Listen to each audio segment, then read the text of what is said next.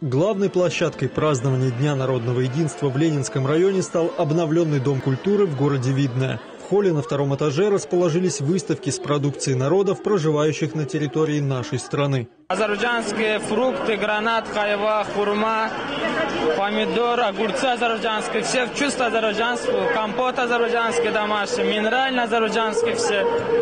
Еще много чего было. Представители диаспор знакомили собравшихся со своей культурой, угощали национальными блюдами, рассказывали о деталях костюмов и истории народов. Книги, которые связаны и рассказывают о национальных костюмах, национальных традициях, национальном празднике Сабантуй.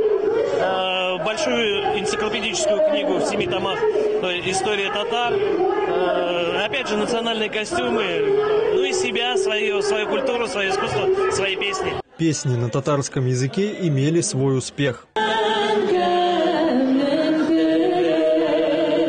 И, конечно, никто не смог удержаться, чтобы не пуститься в пляс под музыку ансамбля «Гусляры».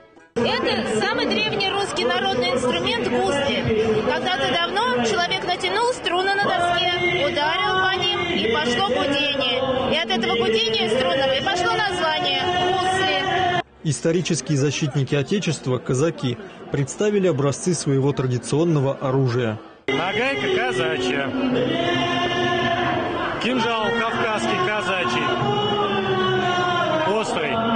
Тем временем в зале все было готово к началу праздничного концерта. На сцену поднялись представители администрации и поздравили жителей от имени главы Ленинского района Олега Хромова.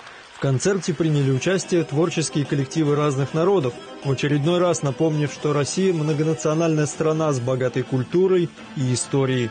Дмитрий Книга, Владимир Андрианов, Ольга Садовская, Видное ТВ.